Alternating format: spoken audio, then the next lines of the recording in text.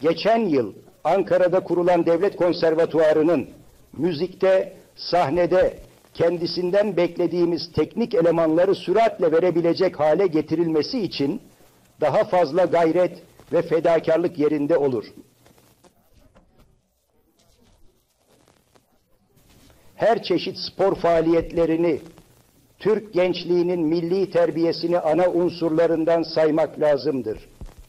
Bu işte hükümetin şimdiye kadar olduğundan daha çok ciddi ve dikkatli davranması, Türk gençliğini spor bakımından da milli heyecan içinde itina ile yetiştirmesi önemli tutulmalıdır.